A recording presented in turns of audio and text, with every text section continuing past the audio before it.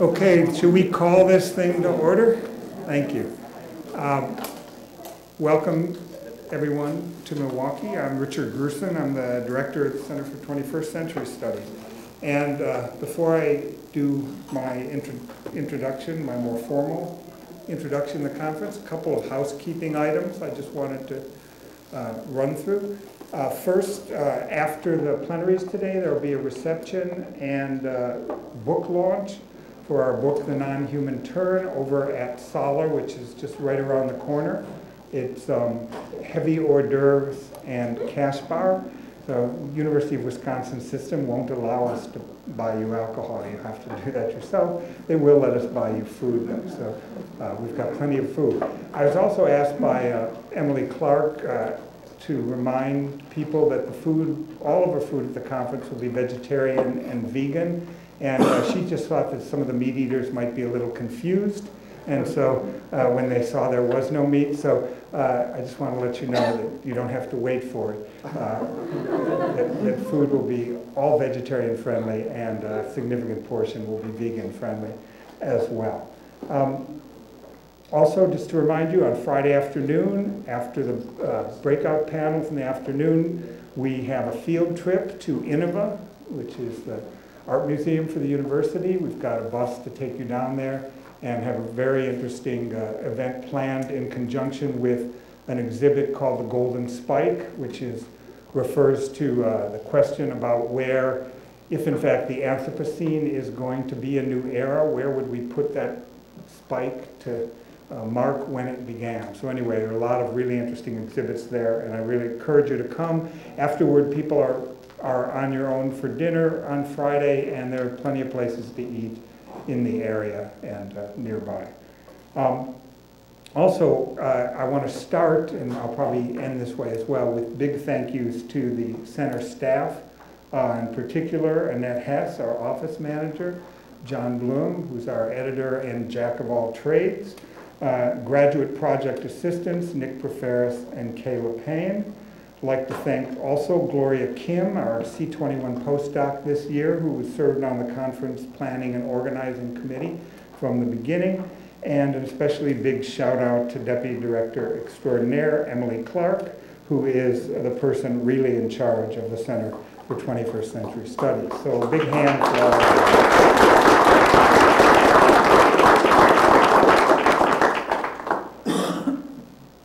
Okay, so that was the welcome, now the introduction, sort of both. So on behalf of the Center for 21st Century Studies, I want to welcome you to Milwaukee and to this year's spring conference, After Extinction. As most of you are probably aware, academic conferences like this one customarily begin with a ceremonial welcome from a campus administrator, or as Chris Newfield says we should be calling them, manager, campus manager, a dean, a provost, or even a chancellor or a president. Although the absence today of a presiding UWM manager was not intended in this way, it seems in many respects quite fitting on a campus like ours, where in a period of true political and budgetary crisis, many of us have felt that administrative leadership generally and support for the humanities in particular has been sorely lacking. So in lieu of such a ceremonial welcome from one of our campus managers, I'd like to begin instead by thanking the indigenous peoples whose ancestral lands the university occupies. Here in Minnewaking, there are several indigenous languages spoken, including Ho-Chunk, Menominee, and Anishinaabemowin. Insofar as these three languages are still in use today, I want to say to those who came before us in this place, Pinagigi, Weyawena, Miigwech.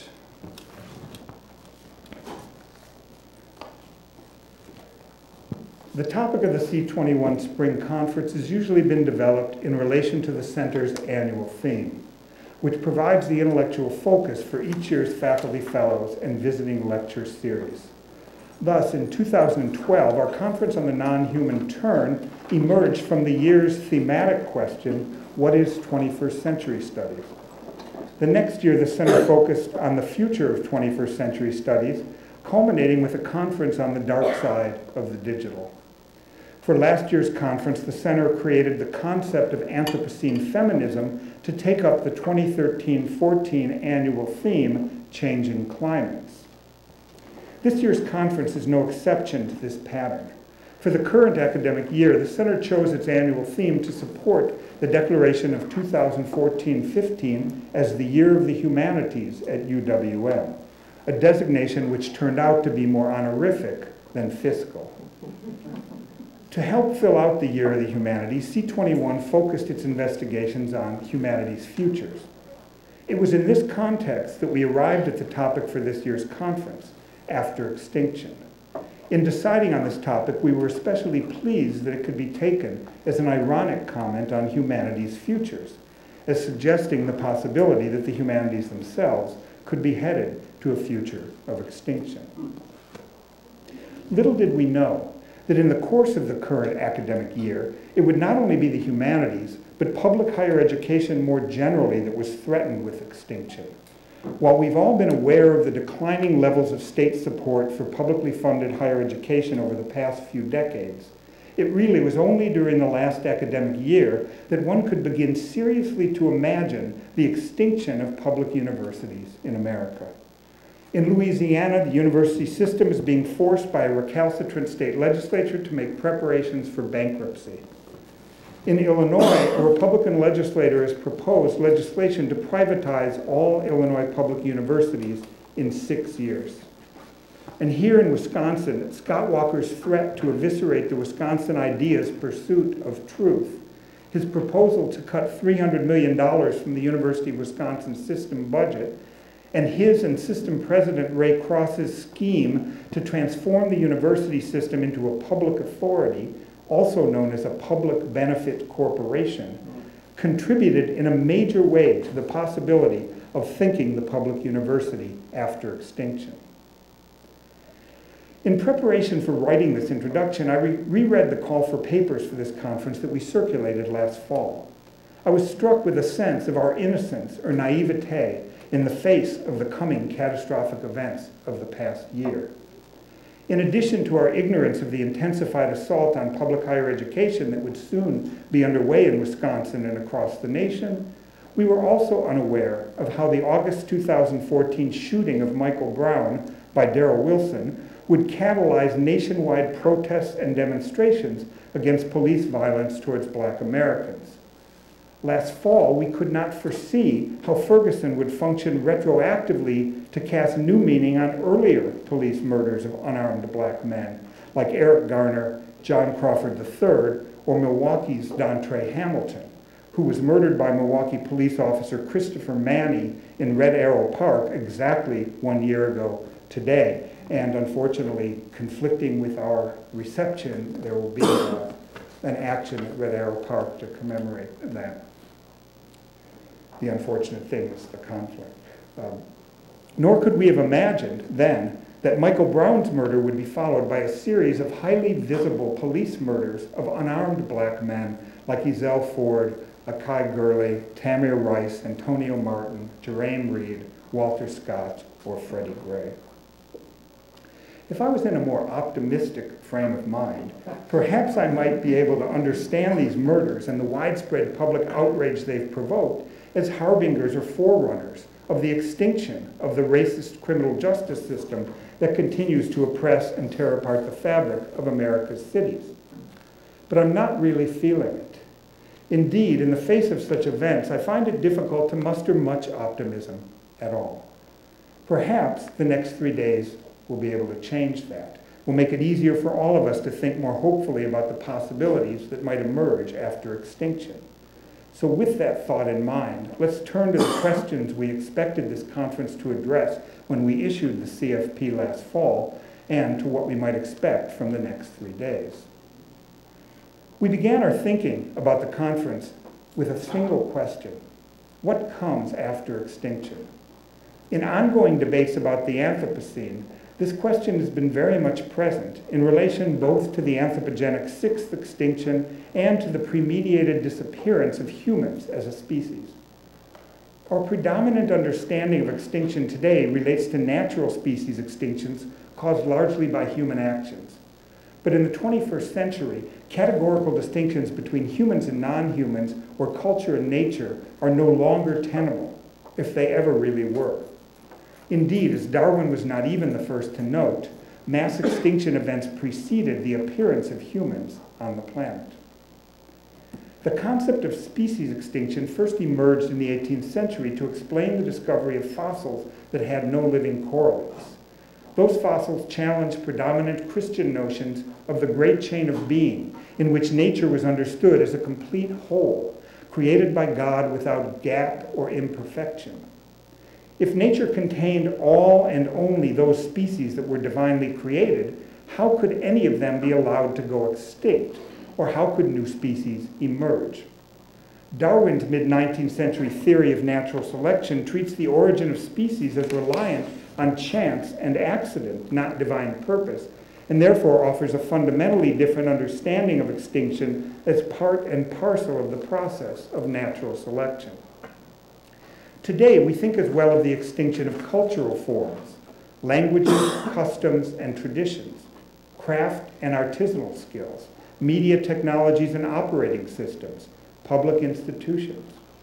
In the face of this extended sense of extinction, asking what comes after is not only to inquire about the future of humans and non-humans, but also to investigate to what extent the concept's origins still inflect current understandings of extinction.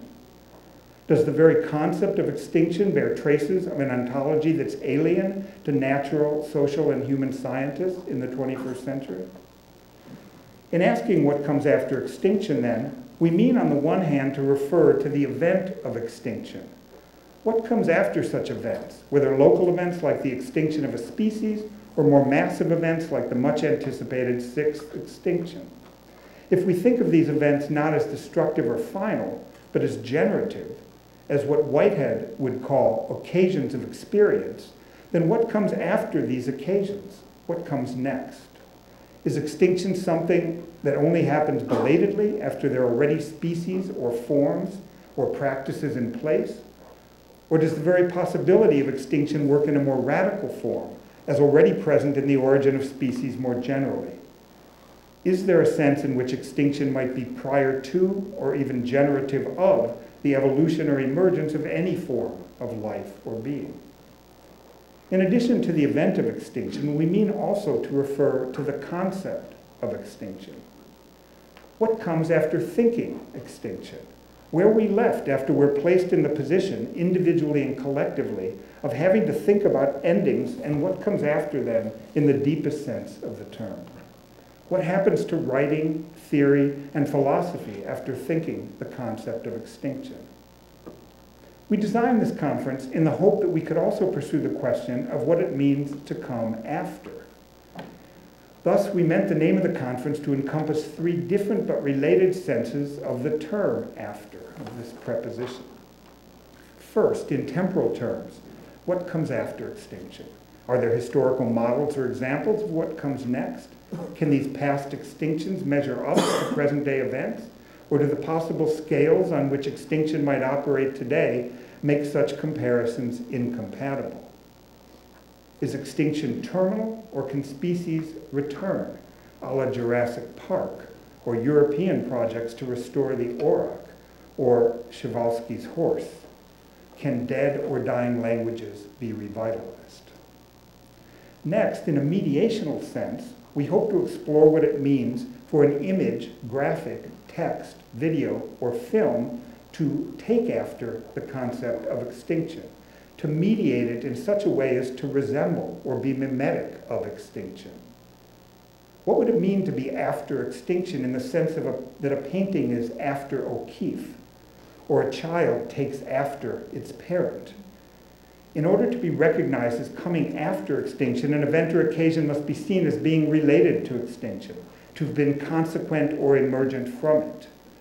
Thus, we hope to explore how future extinctions have been premediated in a variety of formal and informal, print, audiovisual, and networked media. What forms of knowledge emerge in such anticipatory pursuits? And third, then, in spatial terms, what will remain or endure physically after extinction? Extinction is not simply absence, but a geophysical event that occurs in space. How can one act at a distance after extinction in order to plan for, prevent, or preempt the end of crucial life forms? By establishing seed banks, for example, or stockpiling DNA. How does the extinction of one species threaten the lifeblood of the entire biosphere? For example, the impact of bee colony collapse on particular flora and fauna, as well as on human practices like agriculture. Have new artifacts surfaced either as sentinels or fossils of extinction? For example, animal carcasses washed up on shore filled with plastic, or mutant plants in irradiated nuclear test fields? Even if extinction has always been thought of as impacting a larger ecology, has the scale of risk changed in light of the accelerated networks of the 21st century? So these are the questions that we hope to address uh, last fall, and I, I think we will be addressing over the next three days. But in thinking about this introduction in the context of where we find ourselves now, I want to add another question to this long list of questions, one which emerges in light of the potential extinction events of the past year, and one that just has been nagging at me, I suppose, as the run-up to the conference. So could it be possible that our current preoccupation with questions of extinction, like our preoccupation with the Anthropocene in all of its varieties, could it be possible that this preoccupation represents not an engagement with the pressing concerns of the 21st century, but rather the opposite, a way of escaping, avoiding, or minimizing such concerns through the premediation of anthropogenic climatological apocalypse?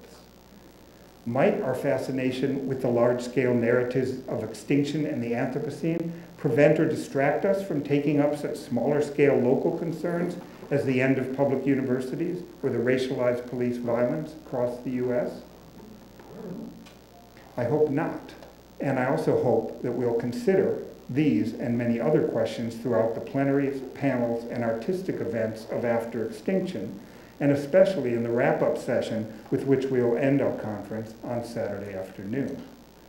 For now, however, I want to invite my friend and UWM colleague Kennan Ferguson to the podium in order to introduce our first plenary speaker, William Connolly. Thanks very much.